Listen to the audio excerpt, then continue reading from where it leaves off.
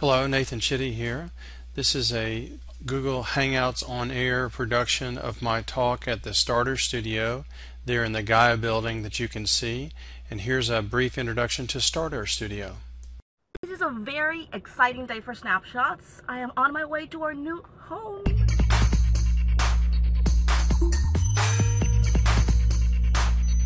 Let me show you what this is all about. It's called Starter Studio and there's basically lots of people here like us trying to do big things in the Orlando area. This is the grand opening for Starter Studios, so we have um, quite a few members of the tech community here today, a lot of the startups, a lot of supporters. It's a beautiful view. Look at this view. I love this. No sleep, all work, no play, but you know what? It's worth it. It is, it is completely worth it. Starter Studio is awesome. Um, really excited moving into this space. We get to really collaborate with other companies that are here, that are along the same journey and path that we are. There's going to be a little ribbon cutting ceremony. So let's just, I'm wondering if I can cut the ribbon. Who can I talk to to see if I can actually cut the ribbon?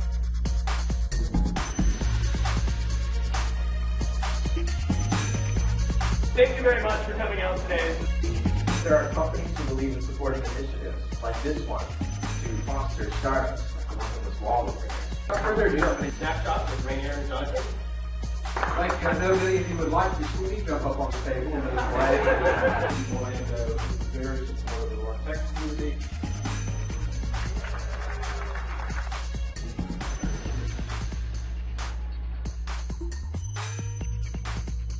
Hi, Snapshot. I'm Glad you're here.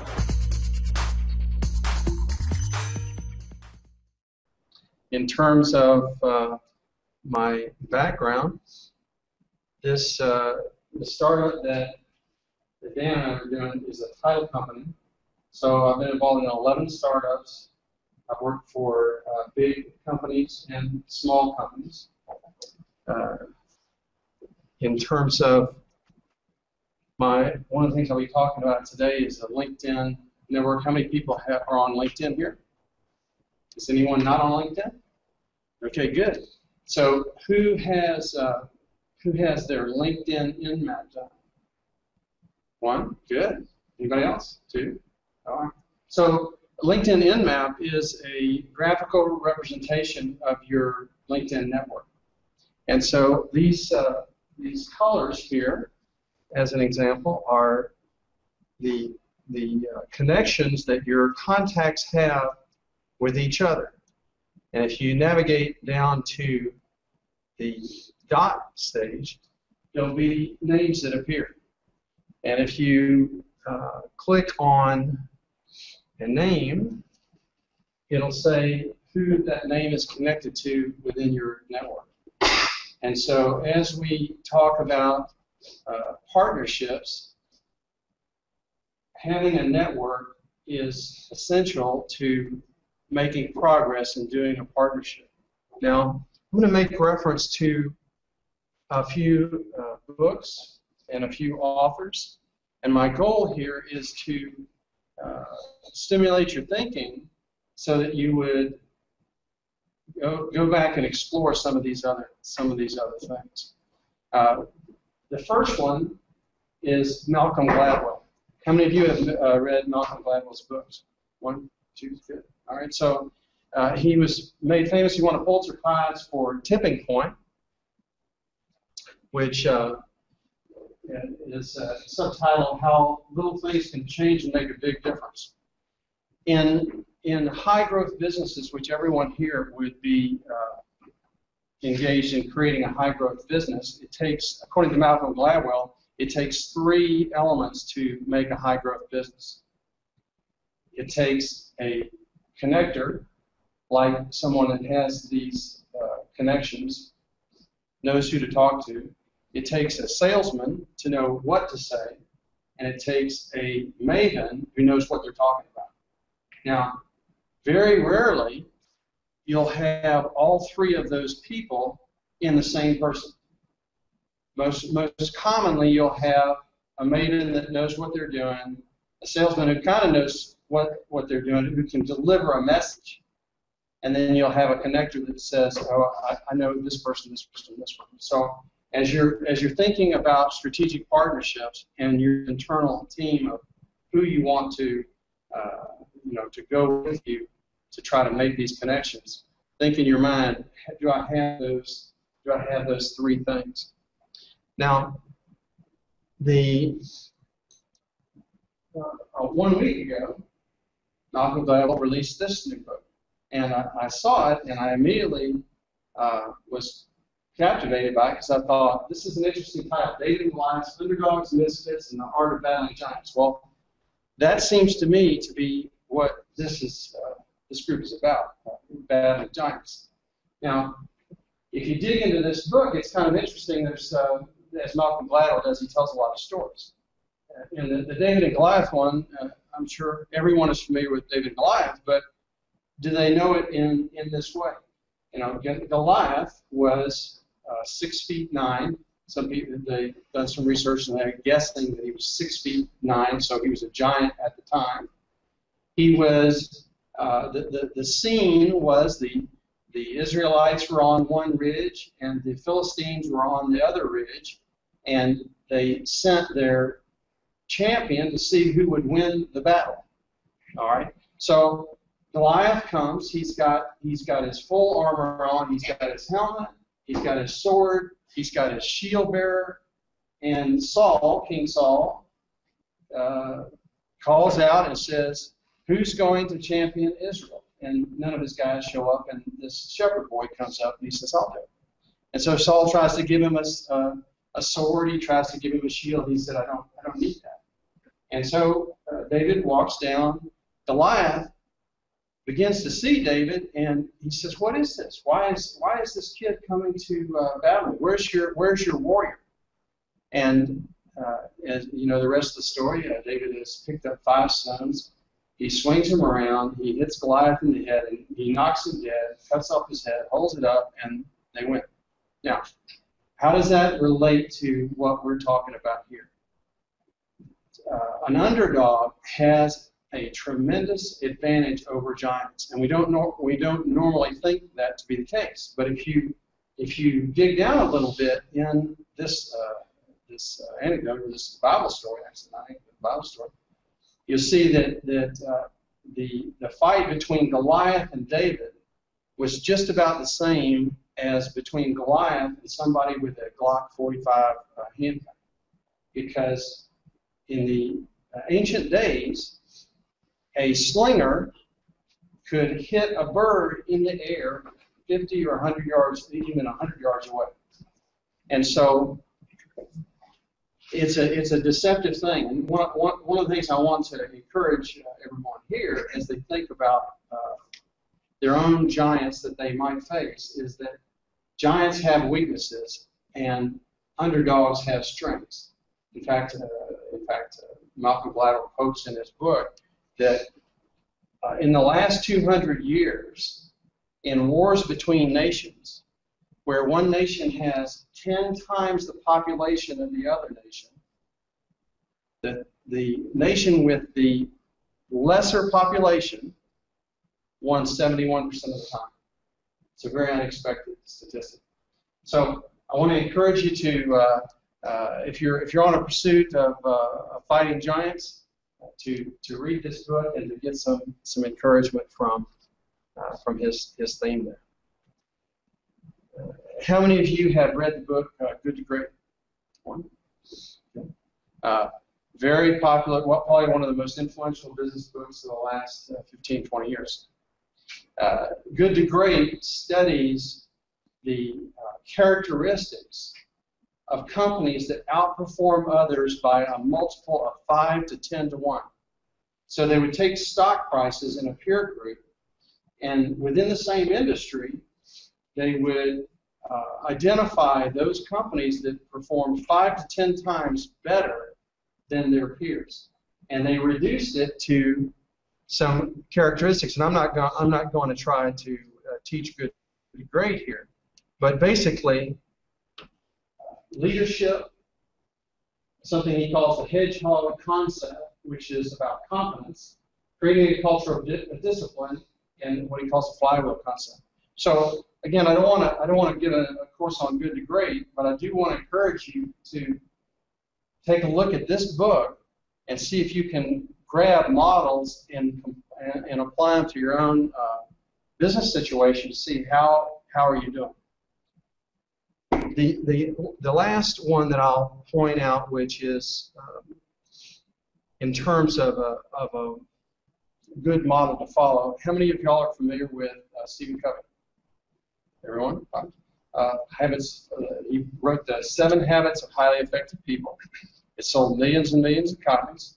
It was published in uh, probably 89, something like that.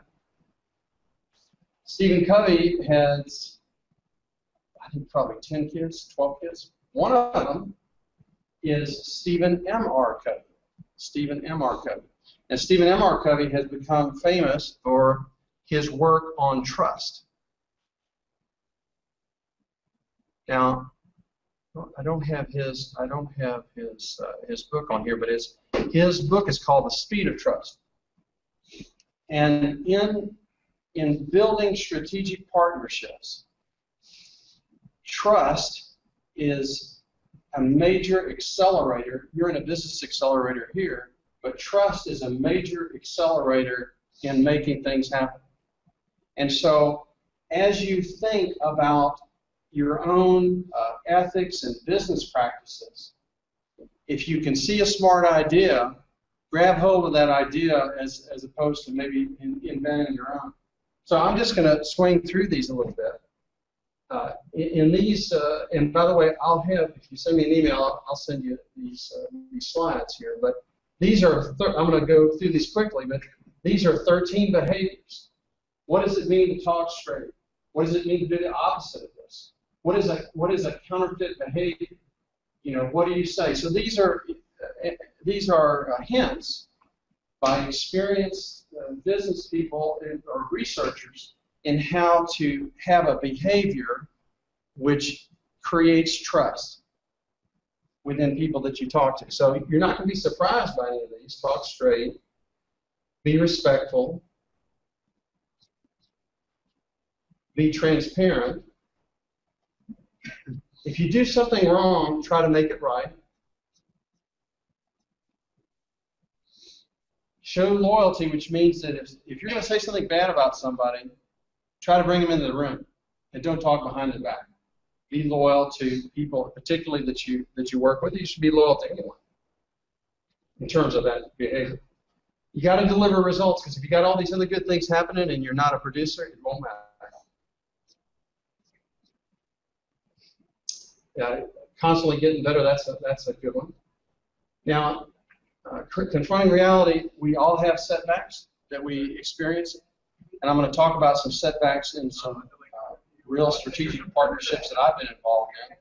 Uh, but when you when you have a setback, sometimes you just need to look your partner in that. Dan and I have had these. You know, he said it to me, and I've said it to him as we've uh, come together to try to build this uh, significant business. But you got to be able to talk straight with people and look them in the eye and tell them what you see as reality. What do you expect? Uh, not what do you expect, but Clarify your expectations of others. Be accountable. Now, uh, how many here were at Richard Lerner's talk, uh, the founders talk a few weeks ago? Anybody here? Uh, Richard Lerner? Okay. Well, I tell you, you missed a great talk because Richard Lerner is uh, has done five big startups, and he has, I think he's been successful in all of them.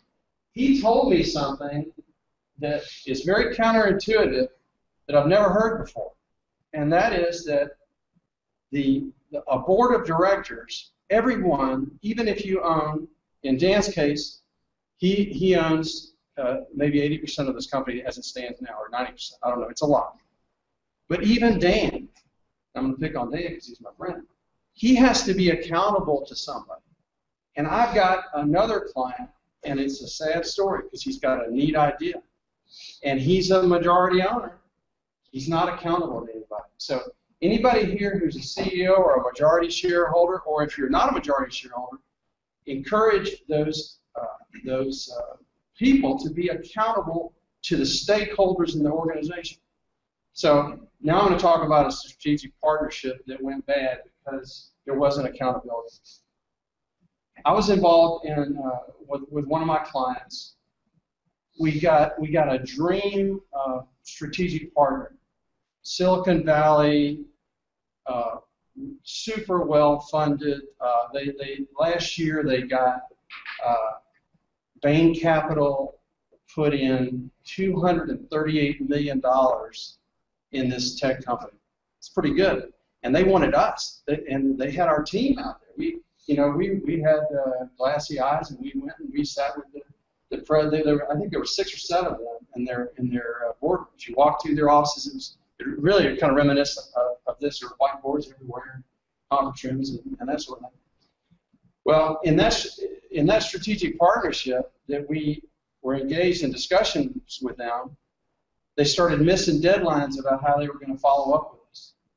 And and, and the message is in strategic partnerships, when you have somebody that you just, oh, the perfect person has come along. This is great. We've made it. We're, you know, I, I could just cash my checks right now uh, that this is going to be fantastic. And once they started missing deadlines, we didn't go back to them, and this was my fault. Uh, I, I was certainly at fault. But I should have gone back to that guy and said, you know what? You said you had a deadline here. You were going to give something in a week. And it's turned into three weeks. Well, about two months later, they got back to us, and finally they said, you know, our board of directors has met, and we we really um, we're going to go a different way. You, you're a brick and mortar business. We're an online business. We're not going to, you know, we're not going to go forward. So we lost two months and we took our eye off the ball. So as you think about strategic partnerships, even that beautiful one that comes along, one of the uh, one of the companies that, that I was involved in, uh, this this was this was really a heartbreaker. Uh, let's see if I can uh, I can step. Let's see. Which one this one? Soraya Biotech. This was a startup uh, biotech. Genentech wanted our technology. I thought they said they sent the NDAs. We had this, the, the the talks with the scientists. I was thinking this is going to be fantastic. But you know what? They just wanted to know what we were doing, and we had that conversation with a few others. So I just want to uh, urge caution without throwing a wet blanket on things. That when you have a strategic uh, partnership opportunity, to really among yourselves think, do I really are they really serious? Are they are, are are they just trying to find out what they're doing? You know, do I really fit into their you know to their picture? You know. Now, uh, in in the case of in the case of something, I won't say too much about what we're doing because it's a secret. It's not real, but um, we we are building a business where we are reaching out and getting we, I bet, I predict that in the next three months, we'll have 10 strategic partners in our business. And they're going to give us money and they're going to give us business. And so I, I encourage you not to limit yourself to thinking, okay, I've got to have the Genentech, or I've got to have the Square Trade, or I've got to have the big, the big name. So you can you can uh, acquire those partnerships to fulfill certain purposes. In our case, we want to have a strategic partnership that's an extension of the business development activities of our company. And that's that's where our, that's where that partnership comes in. I'll get off my uh, my my stars, particularly particularly this one right here. I hope y'all can't read that.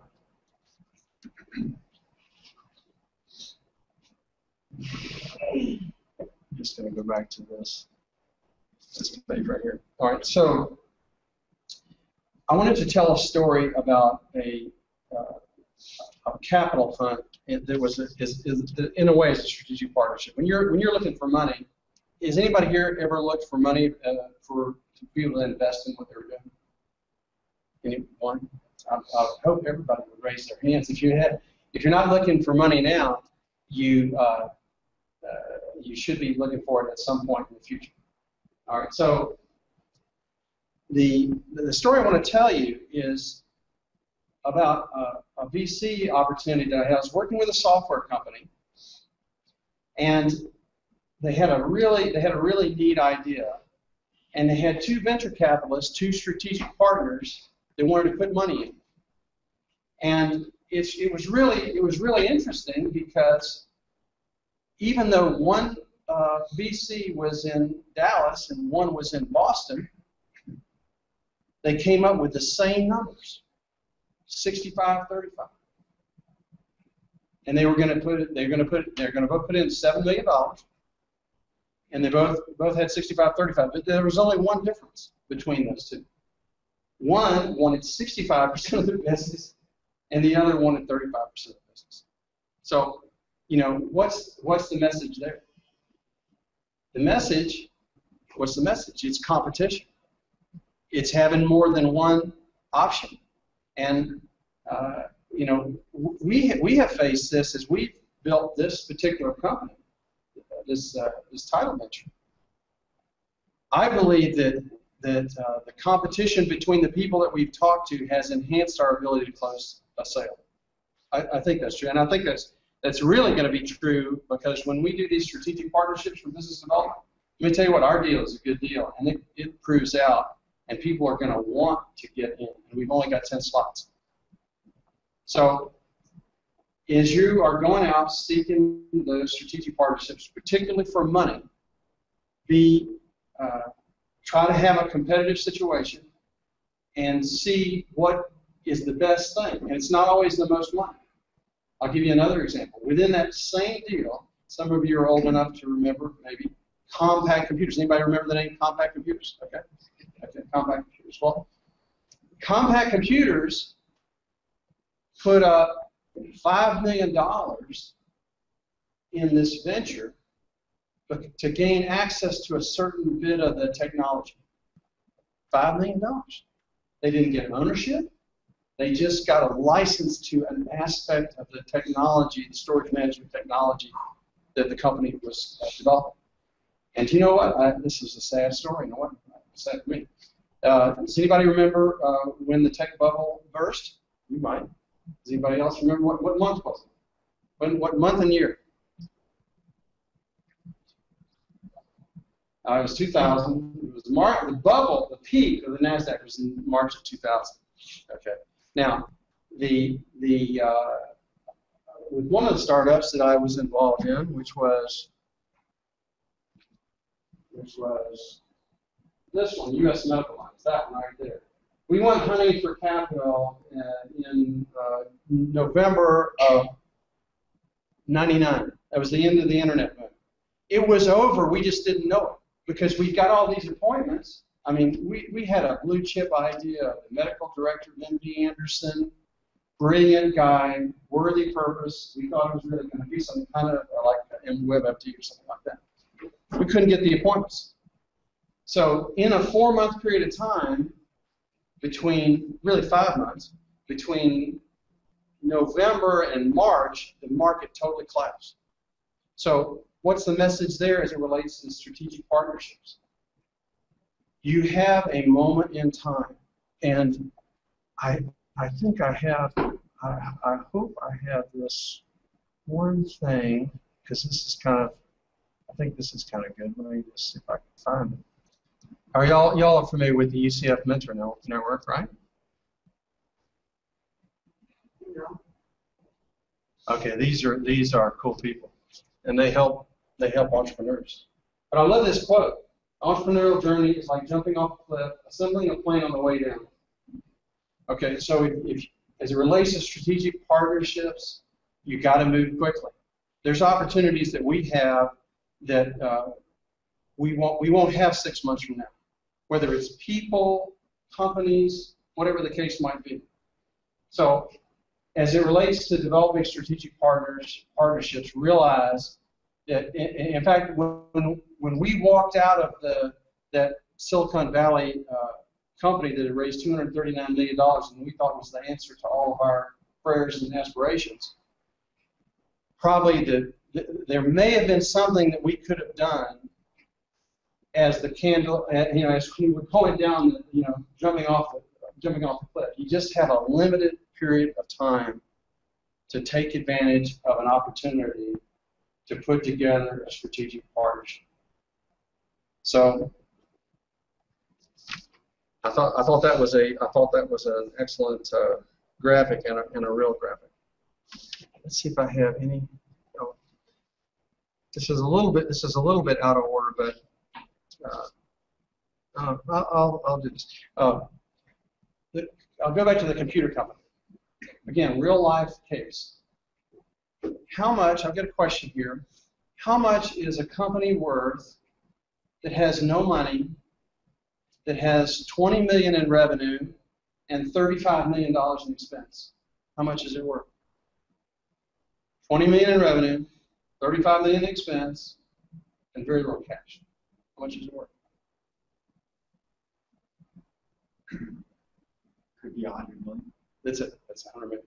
Okay. So, uh, HighGround storage, the company I was involved in a little bit in the beginning, that got the Compaq money and got the uh, got the money from Boston. Sun Microsystems paid a 100 million dollars for their technology, and uh, it is. I mean, we we were close. I mean, you can imagine when you're burning 15 million more a year than you're bringing in, and you're running out of cash. But they needed an aspect of that of that technology. So the part two to that story, and that was a great guess. Uh, I want to say something about that in just a second. But uh, the part two of that was that they can buy you with money or stock, right? What's better?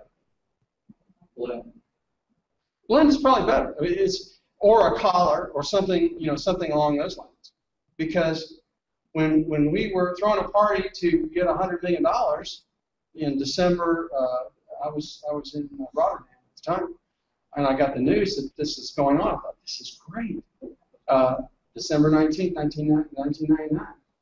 My little piece of I did a little bit of consulting in the beginning was worth three hundred thousand dollars. Well, what happened to Sun Microsystems stock between December 19th and April 15th when I got the stock in my hands?